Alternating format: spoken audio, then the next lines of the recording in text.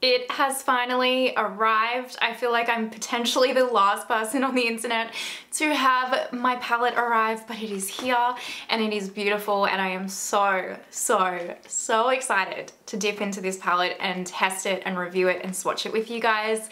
Clearly you know from the title, it is the Pat McGrath Labs Mothership 10 palette, the Moonlit Seduction. I am so incredibly excited, especially since I've seen this in person now. I am so excited to do this video, to play with the palettes, and to give you guys my thoughts. So, you know the deal. Let's get straight into it. Before we do, let's do the YouTubey things. If you enjoy the video, pretty please give the video a thumbs up, subscribe, hit that notification bell. It helps my channel out so, so much. I truly appreciate it. And we're actually gonna get straight into desk view from here so that you guys can see the palette so that we can start swatching it and then we will create an eyeshadow look together. So let's get into it. All right, my friends, you guys know how absolutely pumped I am for this video, like beside myself truly. And I know that that probably seems dramatic, but Pat McGrath Labs is my favorite brand and the motherships are my favorite eyeshadow palettes. You only have to see how many videos I have of Pat McGrath Labs on my channel to know that. So obviously I was picking up Mothership 10 and actually the second I saw this palette, I knew that this color story was gonna be for me. And then I've opened the palette as soon as I got it just to make sure it wasn't broken broken and I, I can completely see that I'm going to get so much use out of this palette personally. I asked you guys on my community tab whether or not that you wanted to see a swatch comparison video or a tutorial review first. So if you haven't seen any of my Pat McGrath Labs like a initial reviews before, generally what I'll do for Pat McGrath Labs palettes is I will film a review slash tutorial of the palette and then I'll follow the video up with swatching and comparing the new palette from Pat with all of the other existing mothership palettes or other palettes that she's released that I own so that you guys have a really comprehensive knowledge of whether or not you own similar shades like this already in your Pat McGrath Labs collection or your eyeshadow collection and you can make a well-informed purchasing decision. I was curious with this one if you guys wanted to see the swatch comparisons first, if maybe that was actually more helpful for you. However, the review slash tutorial one over first. So that's what we're gonna do. Um, I am going to, in this video, I'm gonna swatch this palette. I'm also to do a new format where I actually swatch the whole palette so that you guys can see the entire kind of color story swatched. Don't mind these. These are from another palette. and then I'm also going to, after that, swatch each individual shade on my hand and kind of swatch it out and blend it out a little bit so that we can see each individual shade kind of blended out and swatched out. And I'm also just gonna give you my initial thoughts on how the textures of those shadows feel. And then we will move into creating a look together with the eyeshadow palette and giving you my final thoughts. I will put timestamps down below for you guys, just in case you're interested in only specific parts of this video, you can skip to those parts. I will have a lot of content coming up on my channel as well with this palette. I will follow it up as quickly as I can with the swatch comparison video and also with creating a three looks or a five looks or something like that one palette video with this. So you'll see a lot of content. So if you're interested in that, make sure you subscribe. This palette on the Pat McGrath Labs website is 210 Australian dollars and then she does have other bundles where you can purchase the uh, Intensifeyes with it, which I did, and I'm actually nearly more excited to have this back in my collection because I recently ran out of it than I was to get the mothership. I mean, obviously I prefer the mothership, but this is how much I value this product if you're wondering. It comes with your normal beautiful standard, I mean say I say standard but the usual kind of outer packaging from Motherships, absolutely gorgeous. I really like this. I mean I like all of them. It has the usual information on the back, made in Italy, expiry of 18 months.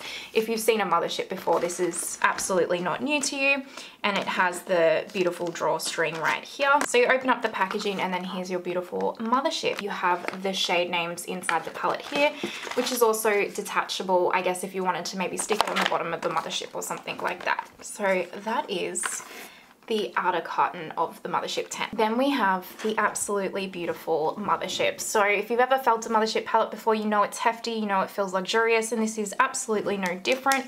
On the back, you also get the expiry made in Italy, all of that usual Pat McGrath Lab stuff as well. Now let's open it up and show you guys. Ta-da! This palette, you guys, I say this so often and I know you're probably sick of me saying this, but when I tell you, when I tell you, you have to see this in person to get it, you have to see it in person. You know how when Natasha Denona released the Glam face palettes and before I purchased it I absolutely knocked it and was like this nobody asked for this. This is so basic so boring. And then I saw the palette in person and was absolutely mesmerized and was like this was one of the most beautiful things I've truly ever seen in makeup that's what this palette is like. When you get this in person, I just don't think it's gonna pick up on camera because I don't know how to do my lighting to showcase how sparkly and mesmerizing each of these shades are. Not even just the special shades, but all of the shades, the metallic shades even in here. They're truly, truly, honestly mesmerizing. It's like looking at like a pool of stars. It's incredible. So I'm so excited to swatch these and dip into them and play with them. I haven't actually watched any reviews because I don't like to watch any reviews, especially of Pat McGrath Labs palettes and kind of come into the product with an expectation. So I have no idea what people are saying out there, but from my understanding with this particular mothership is that these astral shades are actually completely new formulas. And from my understanding as well, most of these shadows is new formulas. So she's either reformulated the mattes and the metallics in some different way and then she's reformulated these new special shades. So if you come into purchasing this Mothership palette expecting it to perform, especially the special shades like the rest of the Motherships, then you're going to be disappointed if that is like your clear expectation because these are completely different formulas. Now in saying that, these could be actually 20 million times better than the original special shades. I haven't touched this yet to know, but I'm just saying that I do know she has reformulated these to be different special shades. So we're kind of coming into this mothership with a completely fresh and new expectation and not comparing it formula-wise to previous special shades from Pat because they are different formulas. What we're going to do now is we're going to go ahead and swatch the entire palette on my arm just so that you can see the color story of the palette all swatched out next to each other. Then we'll swatch individually and then we'll create a look.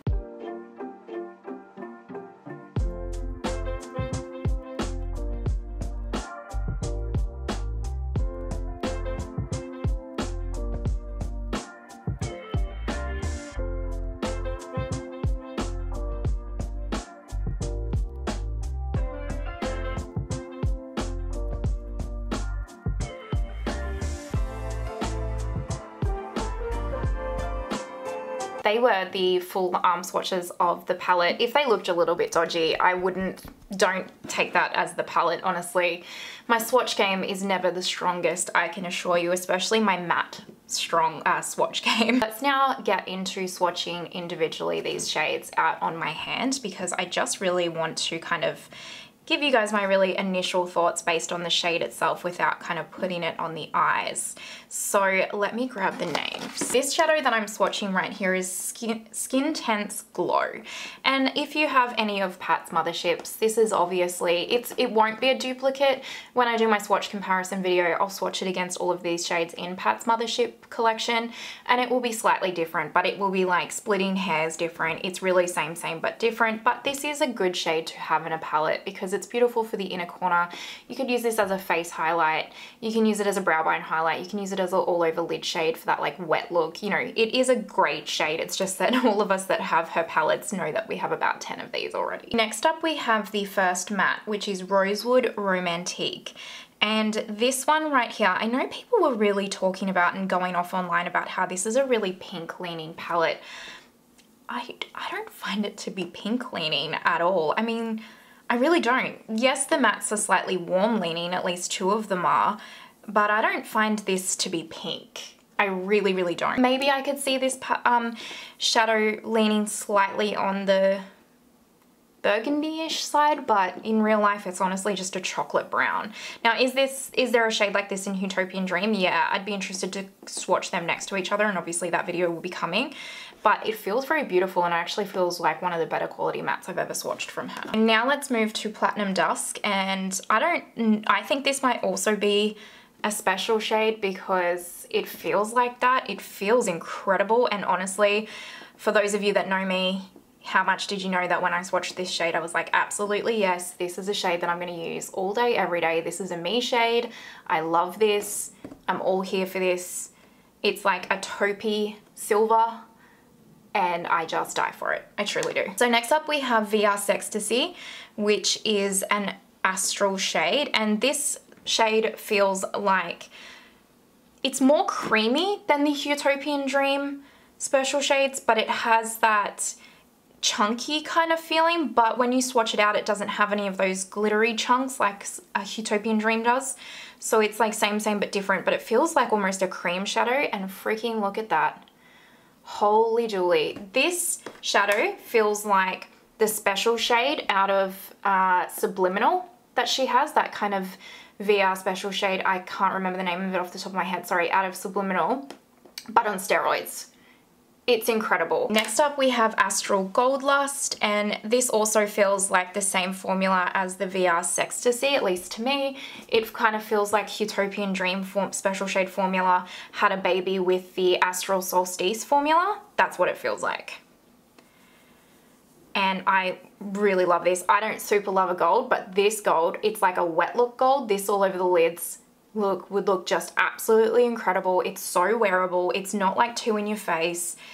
Oh gosh, I could even see deeper skin tones wearing this as a highlight and it would look freaking impeccable. This is gorgeous. We are now on to Extreme Nocturne down here, which is the darkest matte in the palette. These mattes definitely feel quite a lot more creamy and buttery than her other mattes, that's for sure which I think is a good thing because I do think that the one thing that needed improving is her matte formula. So that is the matte right there and this is a lovely cool tone type matte. I really like this, really quite lovely for deepening eye looks up. I'll get a lot of use out of this shade, certainly. Next up, we have Bronze Devotion, which reminds me of a bronze shade from Bronze Seduction. It's probably, this is pro definitely the most generic shade in the palette, I believe.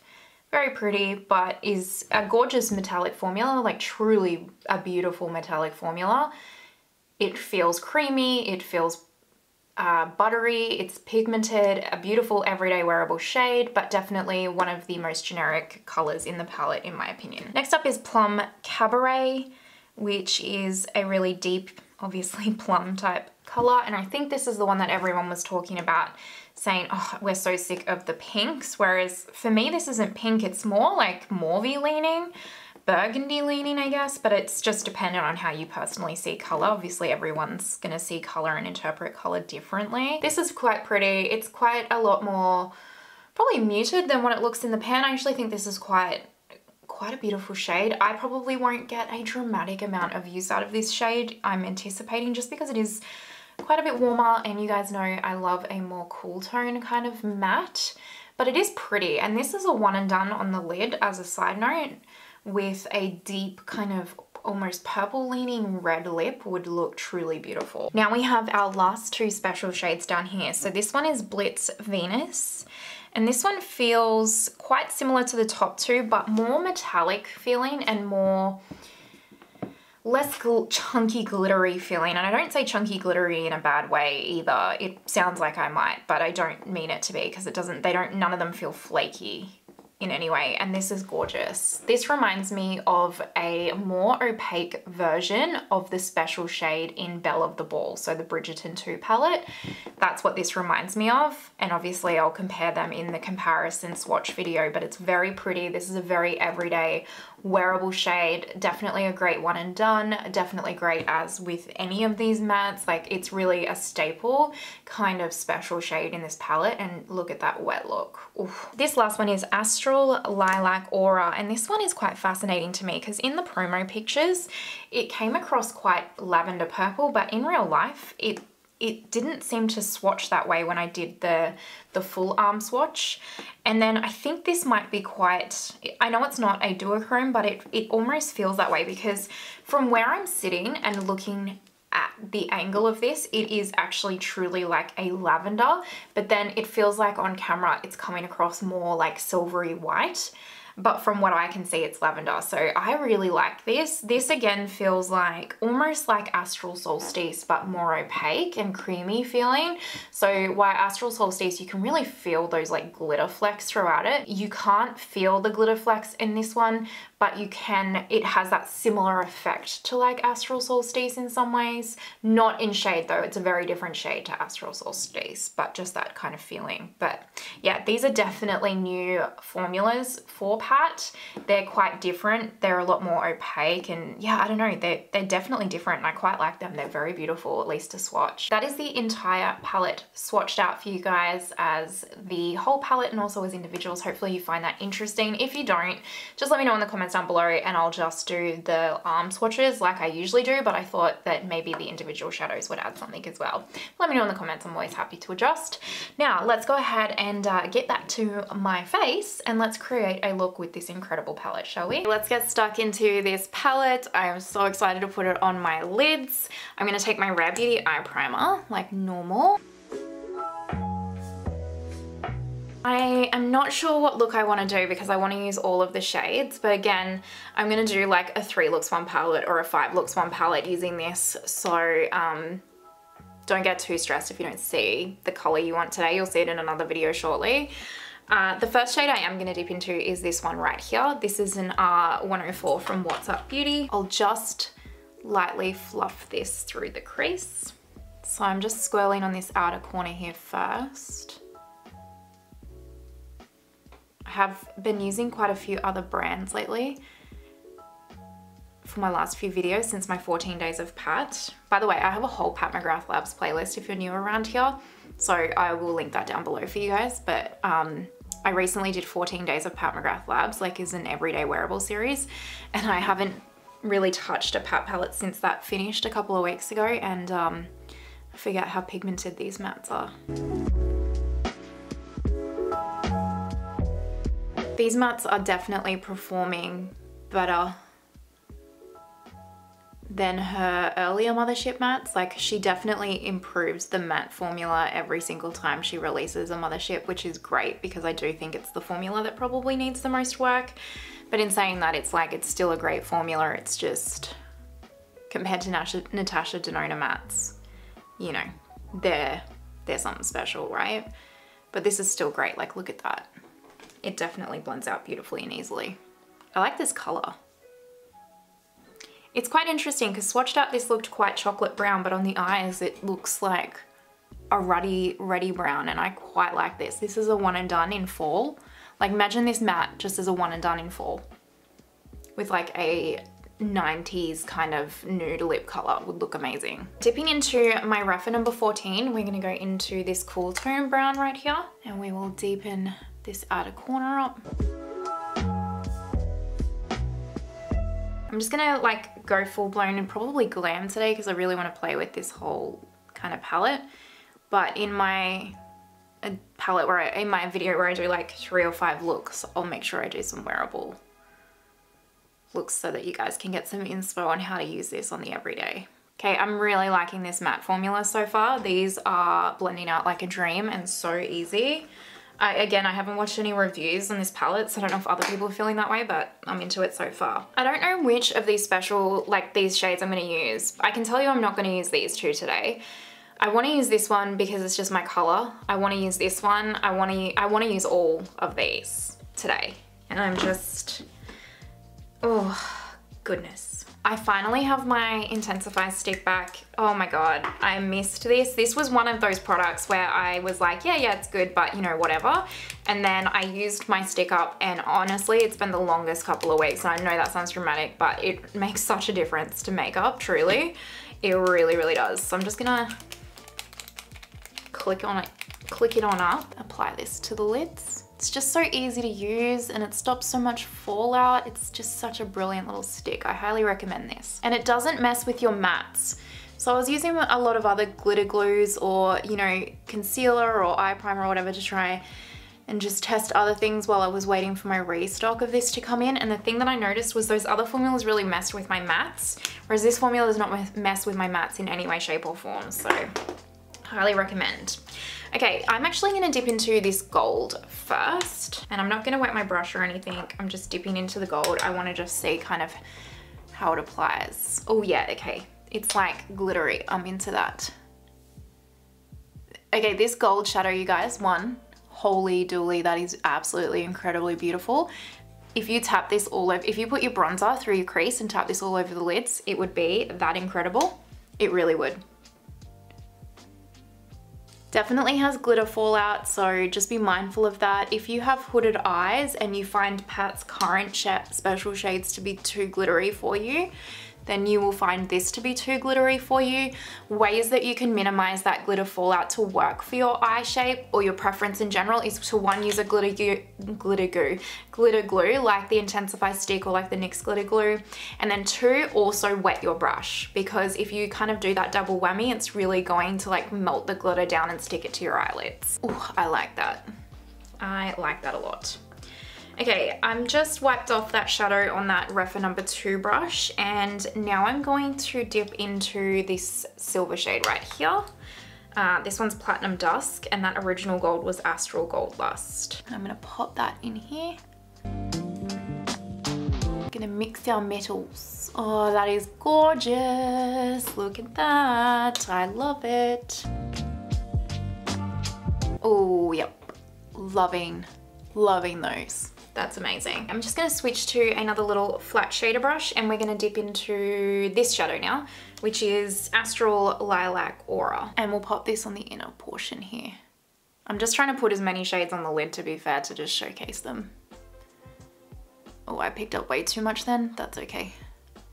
I'll just like swoop that up here like that just to, just because I picked up so much of that product. Whoopsie. Oh, wowie. That is absolutely incredible. I think this is my favorite mothership, you guys. I really do. I'm not even just saying that. You know, I didn't like her Utopian Dream a whole lot. I really didn't.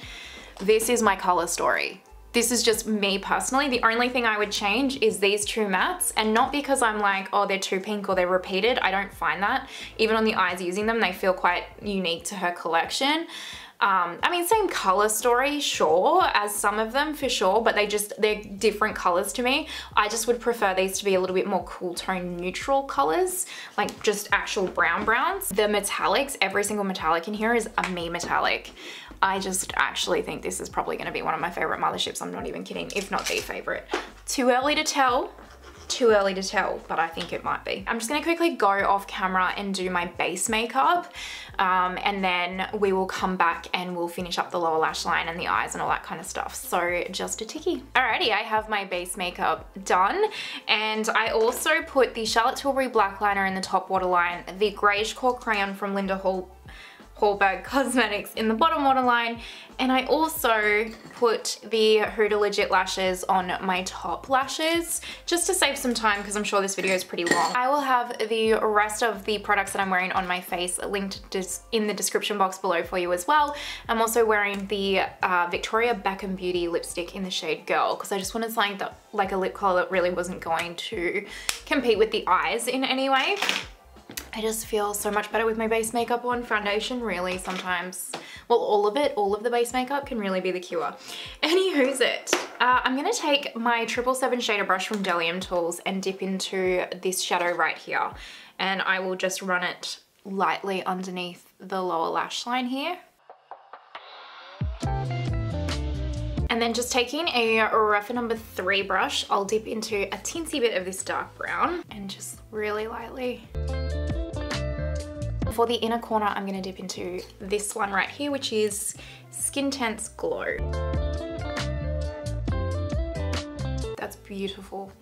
I will say this lilac shade, the lilac special shade, it's so much more purple on the eyes than I anticipated from the swatches and it just looks amazing. Like these, I just think these special shades look absolutely incredible. I know this eye looks really quite glam, but you honestly can tone down this look. You can pick literally any one of those metallics that I put on this lid and just do the whole lid with that metallic or take away these darker mattes if you're my skin tone and use a really soft and neutral matte and put that one of those metallics all over the lid and it would be very everyday wearable and just stunning. And then obviously if you're a deeper skin tone, well then this is gonna be perfect for you.